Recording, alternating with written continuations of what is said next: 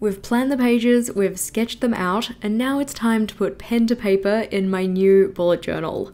For this one, I'm going with a traveler's size notebook, which is a first for me, but let's get into it. Starting not on the first page, but actually in the inside cover, we're gonna be making a flip out. This effectively just involves taking a scrap piece of paper, or more likely an offcut from my journal, and turning this into a little door that can flip out to the side of my notebook. I'm going to be using this for my monthly and weekly reset processes, which are effectively just a sequence of steps that I try to do at the end of each week or each month to get myself prepared for the period of time coming. So, whether that be like the week ahead or the month ahead. I did set up a summary page of this in my current everyday journal, but I actually really missed having them as flip outs. I find the flip outs really helpful because you can view the flip out regardless of what page in the notebook you're in. So, for instance, if I'm working on like my daily log or my weekly log and I'm putting my brain dump in there as part of the reset process, I can have the reset steps visible without having to flip back to the start of my journal to look at that summary page. It's just a little bit more user friendly. If you were curious on flip outs and how they can be made or used for your journal, then I do have a separate video on that one. That one's linked in the description box below.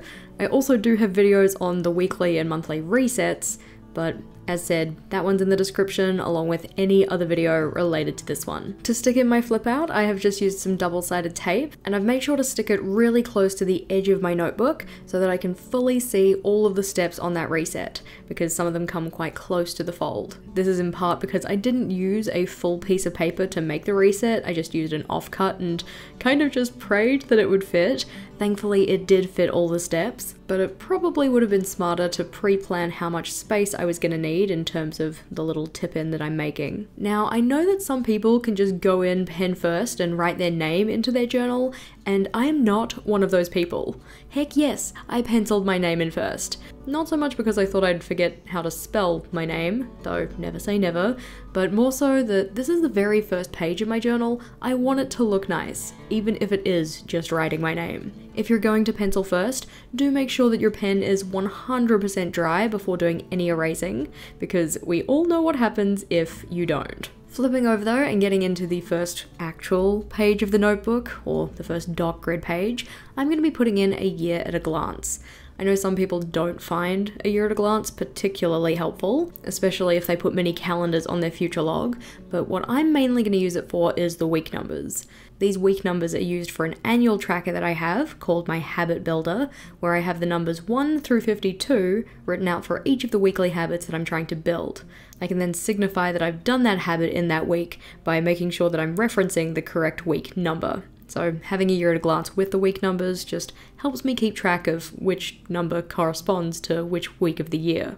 Hopefully that makes sense. Normally, when I do a year at a glance, I would fit a full calendar on one page. Well, when I'm working in an A5, I would. So, moving to the Travelers is certainly different in that respect. In terms of the dimensions of the travelers pages, we have 9.5 centimeters across, or 19 boxes, and 19 centimeters down, or 38 dot grid boxes. So while the page is the same length as my typical A5, it is significantly narrower. It's actually more narrow than the B6 journal that I used last year, which was 11 centimeters across. I did love that smaller size though, so I am interested to see how I go with this notebook. For the decoration on my layouts today, I'm going to be using what looks like stickers but is actually washi tape. This one's from the washi tape shop and it is absolutely gorgeous. They made the decoration in this setup super simple which I did very much appreciate. A link to that tape along with any other supplies I've used in the setup is in the description box, along with discount codes for any of the applicable ones. For instance, if you want to save yourself some money at the washi tape shop, you can use my code JASHII10 for 10% off. We love savings.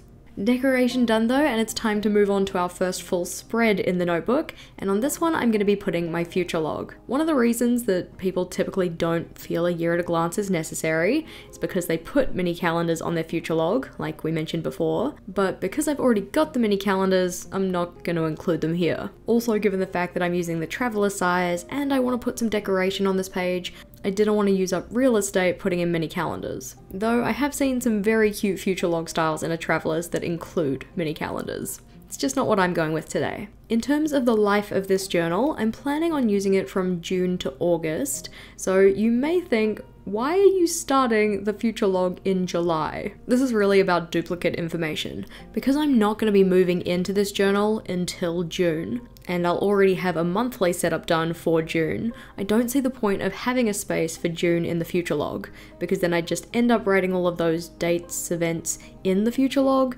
and then doing the exact same things on the monthly calendar for June, which will already be set up. What would be more important for me is having a space to write out what's happening in July and beyond, because those months won't be set up in the journal when I initially move into it. I just don't like the idea of having to record information twice. We're busy people, we have other things to do. In terms of the setup in general though, we do have six sections on the page, so five for the months of July through to November, and then one for any future future events. I don't really expect to have very many of those, but it's nice to have the space there just in case. I'd love to know though, how often do you actually use your future log? I'm typically pretty good with the initial setup, but then I don't really come back to check it all that often unless I'm being super intentional about it as part of my weekly reset. Normally instead I just opt to add things into a digital calendar in Outlook. As said though, we are including a few decorative elements on this future log, and I opted in for some smaller decoration to maximise the amount of space that I could use to write in those future events. Again, those ones just come from the washi tape that I'm using for the entire setup. Originally, I was planning on putting my goal pages next, and this would be pretty typical for me. I like to have my goal pages quite close to the start of my journal, just so that they're easy to access. But this year I'm doing my goal setting quarterly, which means that any goal pages I'd be putting into my journal now are uh, for the period of April through to the end of June, but given that June is the first month in the journal, and then we'll be on to quarter three, it felt a little bit strange to have like a whole bunch of Startle Journal real estate dedicated to information that I was, in theory, only going to be using for one month before doing a goals review and setting up new goal pages. For that reason, after the future log, we're actually moving on to my 101 things list. If you haven't come across it before, a 101 things list is just 101 things that you want to get done in a certain period of time. For me, that is the year of 2023. So 101 things that I want to achieve or try or accomplish this year. In this journal, I am not going to be writing out the full list. This is just for assigning particular things to particular months. Because I'm only planning to have three months in this journal, it would be a little bit of a waste of time, I guess, to write out all 101 things in this journal. So instead what I'm doing is I have spaces mapped out for each of those months, and then also the one that follows for future planning, to record which of my 101 things I want to work on. One of my 101 things is actually to try a traveler sized notebook for my everyday journal, so I will be able to check that one off when we come into June. In general, I just want to try other sized journals to explore new layout styles. I find that if you give yourself a different amount of space to work with, it kind of helps to unlock a bit of your creativity because you're not doing the same old, same old. This was a similar idea with trying the B5 and the B6 last year, rather than my typical A5 size. For this year, we had an A5 to start the year off, we're now going with a Travelers, and then at the end of the year, I'm going to be trying a square notebook. You'll have seen it at the start of the video, but the notebook that I'm going with is a kind of burnt orange color. This one comes from Archer and Olive, and I specifically picked this notebook because it was not blue. My last four journals that I've set up have been blue, so I don't want any more blue joes. I wanted to go with something different. As said, the one I've gone with is from Archer and Olive, and while they don't have this specific one available still, they do have a lovely range of other Traveler's Notebook sized journals, just if you wanted to grab one for yourself. Remember, again, we have the code JASHIICORRIN10 that you can use for 10% off your order, because we love savings. Onto the other side of this spread though, and we're setting up a self-care bingo page. Now, most people tend to do these ones monthly, but I always find it's kind of like too many things for just one month. Like, if I want to pick meaningful things to do that really promote my self-care, doing all of those in one month is gonna be tricky. So instead, I've decided to have a bingo board for the entire life of the journal, so three months. I've also decided that I'm actually going to be giving myself rewards for completing the bingo board. So the first diagonal, the first horizontal, the first vertical, and then the full board. Typically, I wouldn't do this because I would kind of view the self care activities as rewards themselves, which I don't think is necessarily a very good mindset for me to have. I want to make the self care tasks not necessarily immediately rewarding, so I'm gonna pick some rewards out to kind of treat myself as I complete those things. Even though it's over three months, I have just opted in to do a 3x3 bingo board rather than anything bigger. So that's going to be nine meaningful self care tasks that I'm doing for myself in that period of time. Possibly roughly three a month. We'll see how it goes. Flipping on over though, and the next spread is more work related, though it's also kind of fun, and that is a page each for tracking my AYOP and Friday fun posts. Starting with AYOP, so AYOP, and if you're like, Jess, what the heck are you talking about? AYOP stands for A Year of Planning. This is a planning or journal challenge that I'm running for the year. This one has weekly prompts, so you either make or show off a layout in your journal related to the prompt for that week. And I do have a full explanation video for that one about how you can get involved if you want to. That one's in the description box as well. The purpose of this page though is to track my post making for the challenge. I want to keep track of having the picture of the prompt for each week, having written the description for the post, you know, like the body of text that you have on an Instagram post or whatever, and then having posted it in all of the places that we posted.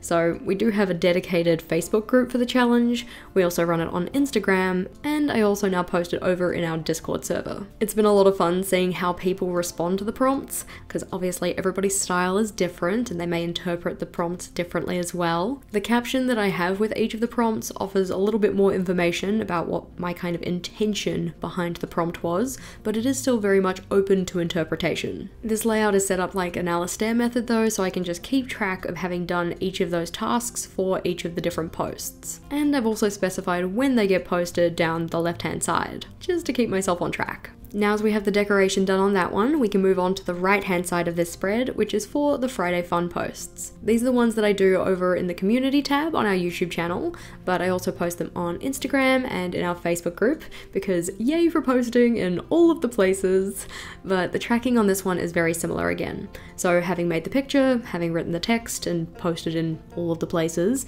but I also need to keep track of coming up with ideas. While the A Year of Planning challenge has been planned in advance, so that one's got all of its prompts kind of sorted for the whole year, this one is more of a kind of build the plane as we fly it type thing, but it is really just a bit of fun. You might have seen some of them, but some of the previous ones we've had are things like if you could only pick three supplies, what are you going to use for your journal setup? Or a kind of black pen showdown, who will win type thing. Just some kind of fun head to head type posts or little polls. If you have any suggestions for ones that we could do in the future, let me know in the comments, because I do find myself trying to think of a new one every single week. I don't really have a pool of ideas for this type of post, but I have been enjoying it so far. Over the page though, and we are setting up a new spread. Now, in the bullet journal method book, Ryder Carroll specifically calls out lists of TV shows and movies as why are you recording this or how is it adding value. First of all, low key check yourself, Ryder, because this is my journal and I can record what I want.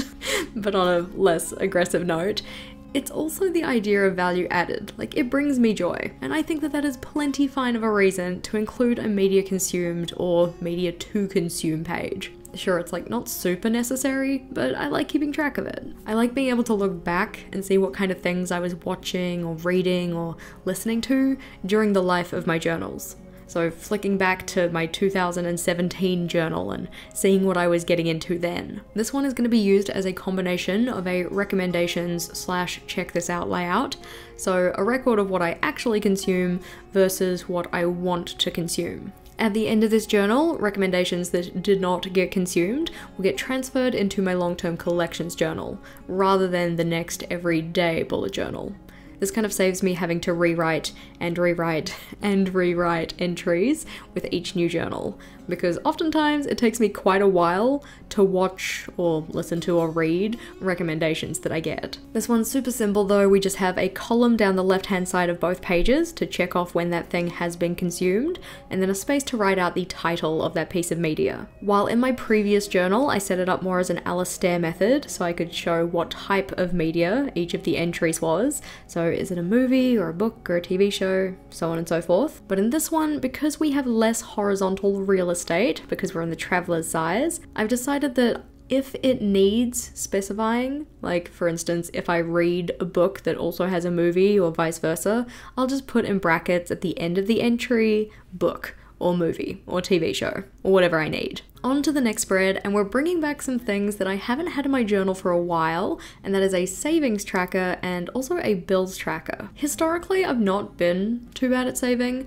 but since going full time with content creating, I do have less income to set aside for savings, so I haven't been as intentional with it as I have been previously. I kind of want to get back to a more regular habit of contributing to my savings, just so that I can build my financial health in general. I do need to specify a savings goal before I do too much on this page, but I do think I have a number in mind. I've decided that I'm going to make it a goal for a certain amount in my savings account rather than a certain amount saved.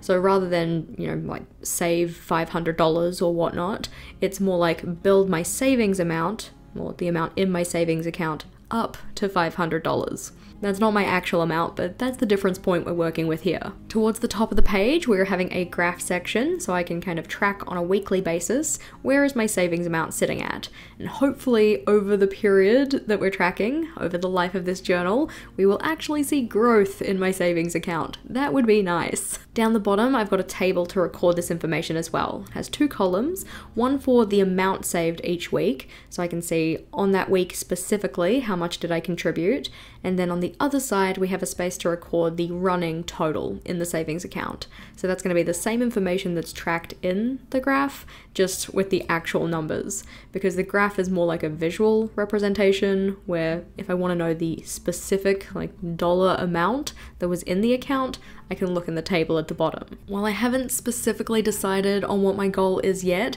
I do need to make sure that I'm keeping it realistic. I only have three months in this journal, so we have to make sure we pick an amount that is gonna kind of push me to save a bit more, but isn't so completely unrealistic that it is 100% not going to happen. On the right hand side of the spread, though, this is where my bills tracker is going to go because recently I realized that I have little to no idea of which bills hit us when, which can kind of lead to some less than ideal surprises regarding what our funds have to go towards. Effectively, I'm setting this one up as a log of either bills that I know are coming up or ones that pop up without my prior knowledge. I'm hoping that I can use this as a reference in the future, for instance, this time in subsequent years in particular, so I know what type of bills to expect when and plan my money slash budget better or accordingly. The layout of this one is fairly simple though. We just have four sections. So one for each of the months that the journal is going to hold and then one for an every month category. So bills that pop up every month so I don't need to record them over and over again things like our internet bill, or our power bill, or our media subscriptions that kind of stuff. When I was planning out this new journal setup, I was very intentional with picking layouts that are going to help promote my work towards my goals. And one of my goals is to get better at my household contributions, or like I don't know what you'd call chores for kids. I don't like to call them chores for myself because I feel like it just puts me in a negative mindset. Also, I am a member of this household and I need to do my fair share, so I'm not going to call them chores. But anywho, a less than fun layout. It is a housework tracker for all of the things that I want to do around the house. This one again is set up with an Alastair style method at the top part, where I can keep track of the things that I want to do on a weekly basis around the house. Because this journal is only probably going to last about 14 weeks, that does leave a fair bit of the page unused, so I've decided that at the bottom I'm going to record anything else that I do around the house that isn't one of my typical jobs. I so almost called them chores, and I'm not using the word chores. As I said, I'm not very good at doing housework, so I wanted to have a space that very clearly outlines what I am expected to do. My partner Vogel, he is a very good egg, he does a lot around the house, I want to make sure that I'm doing my share, pulling my weight. On the right hand side of this layout, this is where I'm putting a projects list, and this one is very much just a list. It has a very basic structure. I'm putting this one beside the housework tracker because the intention is mainly to use it for household projects, but I am keeping the title vague just in case I want to expand on that. Eventually, I'm hoping to make a space in my long-term collections journal for household projects, but I'm not too sure how many projects I'm actually going to want to record, so I'm kind of using this layout as a starting off point, just to see how much space I'd reasonably need to dedicate to such a layout, or see how much use it gets in general. I've been really getting into project planning and breaking down the steps needing to get to a specific outcome.